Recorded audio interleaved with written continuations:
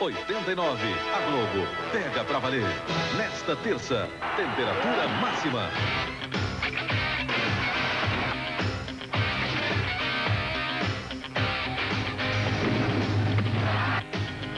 Sylvester Stallone é Rock Balboa, enfrentando seu mais difícil adversário. Você não conseguirá vencê-lo. Rock 3, uma luta emocionante. Temperatura máxima. Nesta terça, depois de O Salvador da Pátria.